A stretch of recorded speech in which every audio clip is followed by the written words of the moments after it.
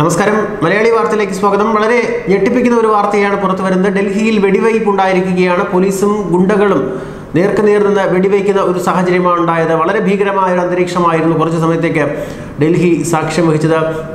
ഗുണ്ടകളാണ് ആദ്യം വെടി ഉതിർത്തത് എന്നാണ് ഇപ്പോൾ പുറത്തു വരുന്ന വിവരം. എന്തായാലും ഗുണ്ടകളെ വെടിവയ്പിലൂടെ പ്രതിരോധിച്ച് അവരെ കീഴ്പ്പെടുത്തിയിരിക്കുന്നു എന്നുള്ള വാർത്ത തന്നെയാണ് പുറത്തു വരുന്നത്. ഗുണ്ടകൾക്ക് പരിക്കേറ്റിട്ടുണ്ട് എന്നും പോലീസ് സ്ഥിരീകരിക്കുന്നുണ്ട്. കൊലപാതകം ഉൾപ്പെടെയുള്ള നിരവധി കേസുകളിൽ പ്രതിയായവരെയാണ് ഇപ്പോൾ പോലീസ് അറസ്റ്റ് ചെയ്തിരിക്കുന്നത്.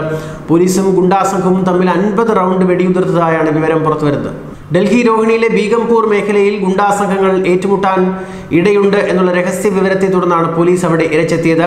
പുലർച്ചെ മൂന്നരയോടുകൂടിയാണ് കാറിലെത്തിയ ഗുണ്ടാസംഘം പോലീസിന് നേരെ വെടിയുതിർത്തത്.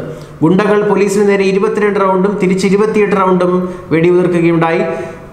ഇതിനിടയിലാണ് നാല് ഗുണ്ടകൾക്ക് പരിക്കേൽക്കുന്നത്. കൊലപാതകം ഉൾപ്പെടെയുള്ള നിരവധി കേസുകളിൽ പ്രതികളായ രോഹിത് അമിത് രവീന്ദ്രൻ യാദവ് സുനിൽ എന്നിവരെ പിടികൂടി ഗുരുതരമല്ല എന്നുള്ള റിപ്പോർട്ടുകൾ കൂടി പുറത്തു വരുന്നുണ്ട്. ഇവരുടെ പക്കൽ നിന്ന് ആറ് തോക്കുകളും എഴുപത് വെടിയുണ്ടകളും മൂന്ന് ബുള്ളറ്റ് പ്രൂഫ് ജാക്കറ്റുകളുമാണ് കണ്ടെടുത്തിരിക്കുന്നത്. ഇവരുടെ കാറും പോലീസ് കസ്റ്റഡിയിൽ എടുത്തിരിക്കുകയാണ്. കുപ്രസിദ്ധ കുറ്റവാളി ലോറൻസ് ബിഷ്ണോയിയുടെ സംഘത്തിൽപ്പെട്ടവരാണ് ഇപ്പോൾ അറസ്റ്റിലായിരിക്കുന്നത് എന്നാണ് പോലീസ് അറിയിച്ചിരിക്കുന്നത്. എന്നാലും വളരെ ഭീകരമായ ഒരു അന്തരീക്ഷം തന്നെയായിരുന്നു കുറച്ച് സമയത്തേക്ക് ഡൽഹിയിലുണ്ടായത്.